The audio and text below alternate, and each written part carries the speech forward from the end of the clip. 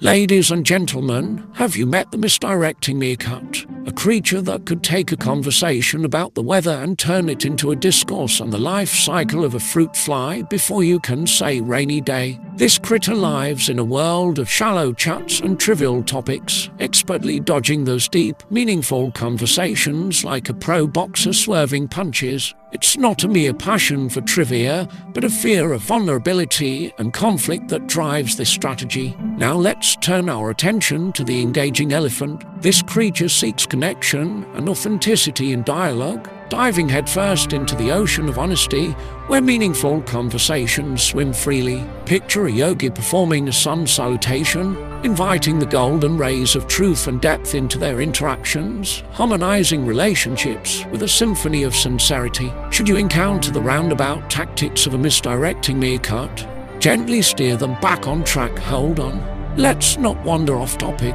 What you think and feel about this is important to me, so to you misdirecting meerkats. Swerving away from important discussions won't make them disappear. If anything, it makes the elephant in the room grow bigger. Be like the engaging elephant, dive deep, embrace the truth, and let the enriching currents of genuine conversation carry you forward. Who knows what treasures you might discover in the depths of sincerity? Dodge no more. It's time to dive.